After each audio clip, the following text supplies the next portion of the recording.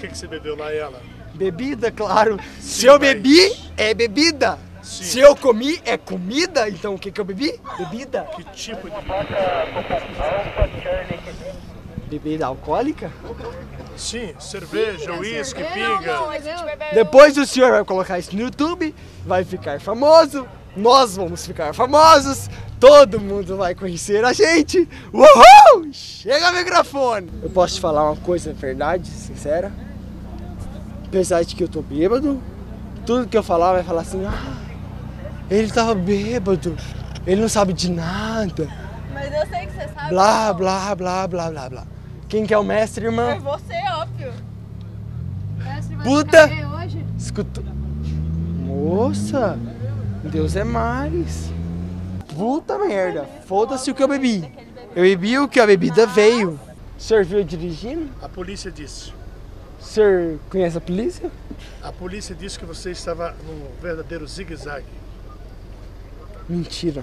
Eu só levantei o som do carro e mandaram eu parar. E o carro causa- andou sozinho, não tinha motorista o carro? Deixa eu falar. O senhor tá colocando palavras na minha boca. Por gentileza, estou te perguntando. O senhor tá escutando o que eu tô dizendo? Sim, ok. que o carro estava andando normalmente. A única diferença é que estava com som alto. A polícia pediu para abaixar o som. Eu não abaixei o som. Fim. Nós estávamos nas imediações da Praça Santos Andrade fazendo um patrulhamento, quando nós identificamos o veículo Celta né, em alta velocidade e constatamos que o veículo já estava em zigue-zague, quase chegou a colidir com outros cinco veículos. Né? Quando aproximadamente a hora que ele cruzou a Marechal Deodoro, nós já tentamos abordá-lo de lá. Ele, a situação do, do condutor é, é tão caótica que ele só apenas percebeu que está sendo, estaria sendo abordado pela polícia aqui na esquina com a 7 de setembro. Né? Nós constatamos que ele está com visíveis sintomas de embriaguez, né?